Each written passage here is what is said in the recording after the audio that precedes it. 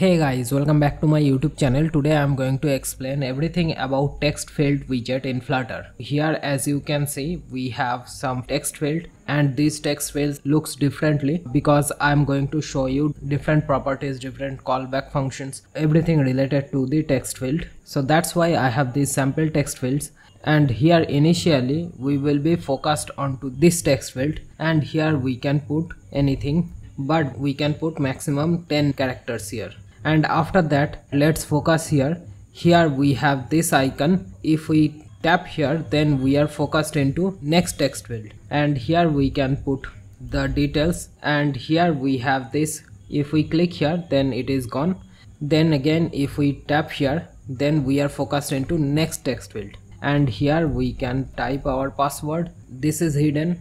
And we can tap here to check and uncheck these things so right now it is visible but by default it is not. And then let's tap here. Now we are focused into next text field and here we have this number input keyboard. So here we can put any number and after that here we have different icon. And after tapping here the keyboard disappeared. Now we can click on this button and after clicking on this button i have printed this text whatever field in this text fields so we will get all the text provided by the user into these text fields so this is what I am going to show you and in this process you will get to know everything about text field widget in Flutter. So if you are interested in this kind of tutorial then hit the like button, subscribe to my channel for more tutorials like this and don't forget to hit the notification bell icon so that you get notified whenever I post a new tutorial on this channel. So without wasting any more time let's get started.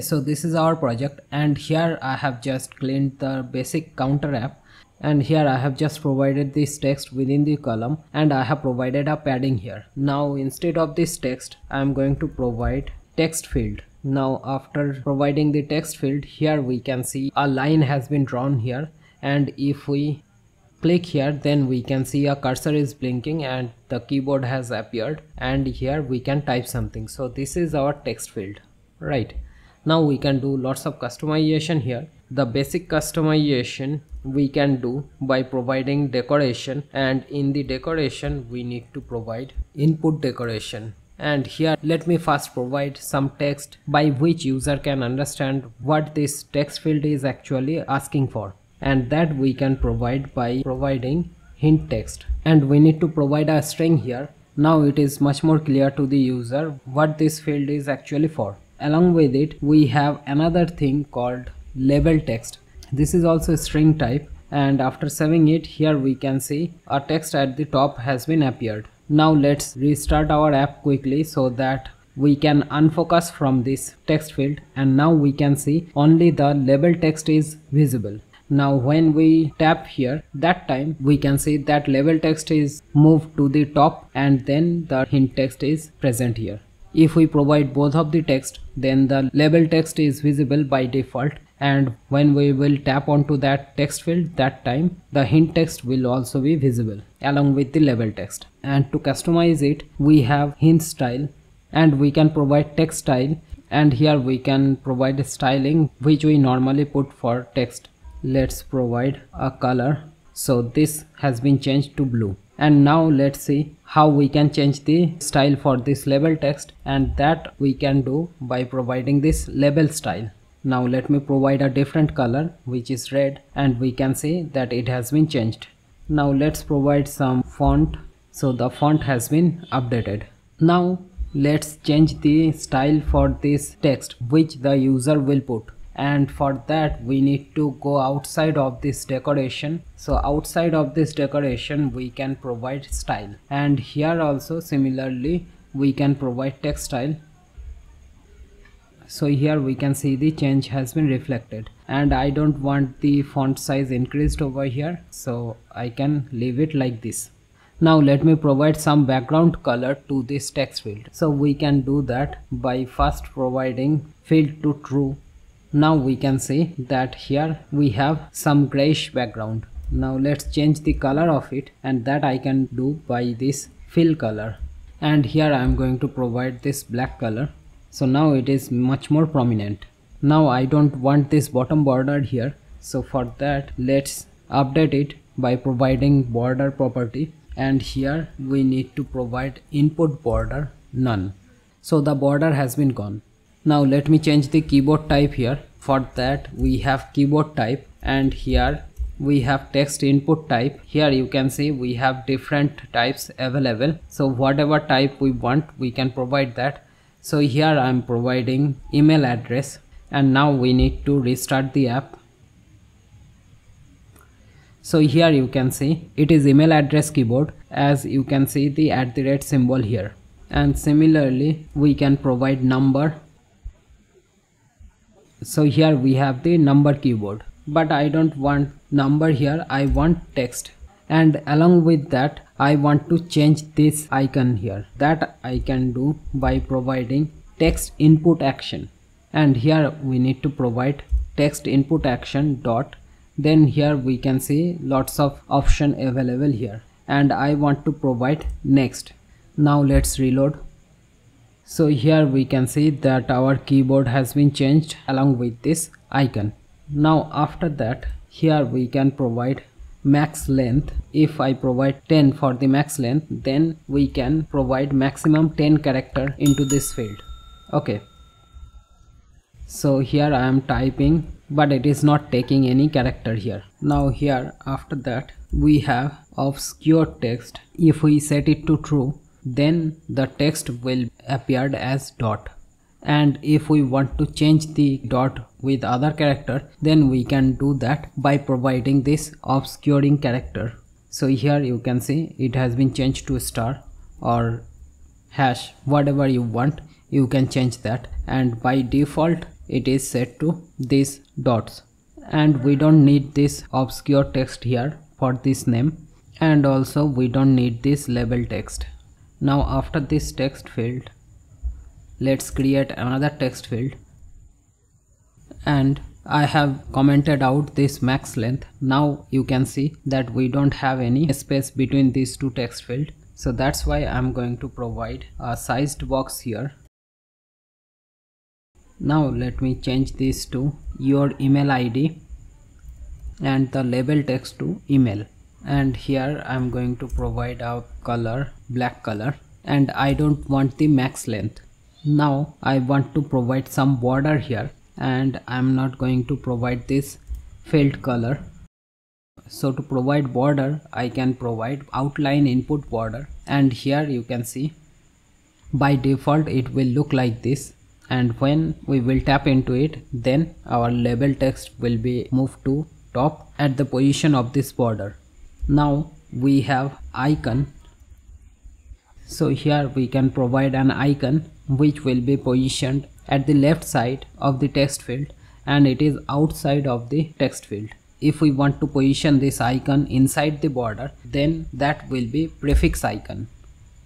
And also we have another icon which is suffix icon and this icon will be positioned at the right side and as you can see here it is type of widget. So instead of this icon I will provide icon button. And here I will provide this icon. And also we need to provide on pressed so now we can tap here. And here I will change the keyboard type to email address.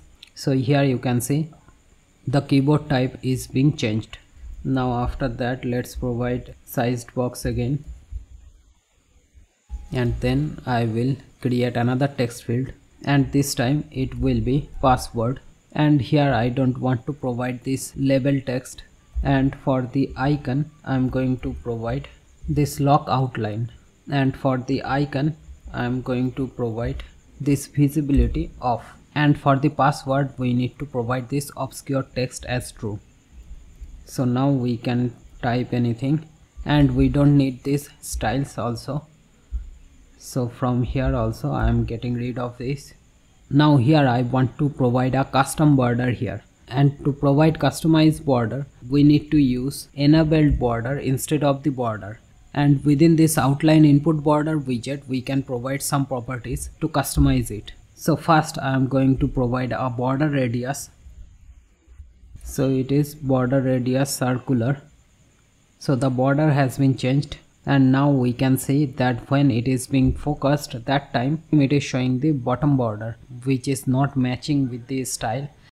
And it is not good at all to have different types of border for different state for a single text field. And that we will do. But before that let me customize it furthermore which is border side. And here we can provide border side. So here you can see color style width. So we can provide color. And here I'm going to provide a black color. And for the width of it I'm going to provide 3 so here it has been changed. Now let's change the focus state border. And for that we have focus border. And here also we have similar things so I can copy and paste it here. And for this one I'm going to provide a different color which is green now let's save it. So here we can see it is already has been changed. Now it is not focused. So it is the normal border. Now when it is focused that time it is getting changed. So that's how we can customize the border in text field. And now I'm going to copy this text field one last time. And this time it will be for age and for this one the keyboard type will be number and here I'm going to provide the input action as done which means this this icon. And for this one I will provide the underline border. And that we can do by providing this underline input border. And now after that I will create a button called elevated button and now let's fetch the text which will be given into these fields. And for that first here we need to create some controller that will be text editing controller. So here let's create controller for each field. So after the name it will be email then password and finally it will be age controller.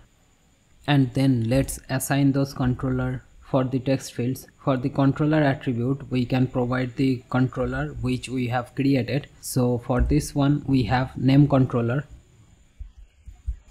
Then we have email controller for this email text field. And we have age controller after the password controller. Now let's print the text. So we have name. Name controller dot text so now let's see.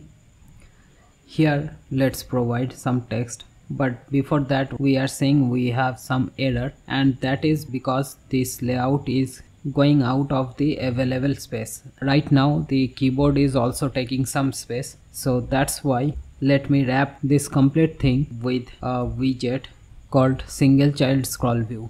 So now it has been gone. Now let's type something and click here now after that here we can see in the console we have the output. So that's how we can take the input. So here we have email controller then we have password controller and then we have age controller. So by providing name of the controller dot text we can get the text of that particular field. And now I want to make this thing dynamic so that whenever I will click here that time this will be visible after that if I again click here then it will go back to these dots. So it will toggle this obscure text. So for that here I am creating a boolean variable called secure text and by default it will be set to true. And for this button let me set it to opposite of what it is. So that means right now it is true. After pressing this button it will be set to false if it is set to false then after pressing the button it will be set to true. And we need to provide that within set state to see the change in real time. And after that let's provide here that variable. Now let's see. So here we can see that it is doing the work. Now I want to change the icon here. And that I can do by this. So if the secure text is set to true then it will be this icon. If it is set to false then it will be this icon. So it's working perfectly fine. Now let's work on this button. So whatever we are typing here after clicking on this button I want to make it clear. So that I can do by providing the email controller dot clear. Now after that let's click here so here it has been cleared. So this is working perfectly fine. And now I want to work on the focus of these text fields. So first I want to provide autofocus to true for this field. Now save it. After saving it we need to reload the app. So it has been reload and now you can see we have already this cursor present here so it is already has been auto focused now i want to change the focus to next text field by tapping onto this button. So for that here we need to create some focus node. So i have created email focus focus node. Similarly we need to create for password and age. Now after that here we have on editing complete and this function will be triggered when we will click on this button after we have completed the typing. And here we can provide focus scope of context dot request focus. And within this request focus we need to provide the focus node which we want to focus. And we need to assign the focus node also. And that we can do by this focus node. And here let's provide that. This is email field. So this is the email focus node then we have password focus node and after that we have age focus. And now let's copy it and use it for this one. And for this one it will go to password focus. And here for the password it will be keyboard type text. And after that from here it will go to age focus now let's reload the app. So here we have the name. Now tap here. So we have email. Now tap here. So we have password focused. Now tap here. We have the age. So here let's provide some age. And then after clicking on this icon which is the text input action done. So by tapping on that the keyboard has been disappeared. And now if we click here then we can see all the text which we have provided here that is being present to us. And one other thing i want i i forgot to mention that is error text so here it is. You can provide the error text for any text field by providing this error text and you need to pass the text message here. If you provide null here then that is gone. So you can check for the error and based on that you can display null or the text so this is the tutorial guys. I hope you have learned something new from this tutorial. If you do so then hit the like button, subscribe to my channel for more tutorials like this and let me know by commenting down below. If you have any kind of suggestion for me then also let me know. And don't forget to share this tutorial with your friends and colleagues and I will see you guys in my next tutorial. In the meantime have a great day. Goodbye.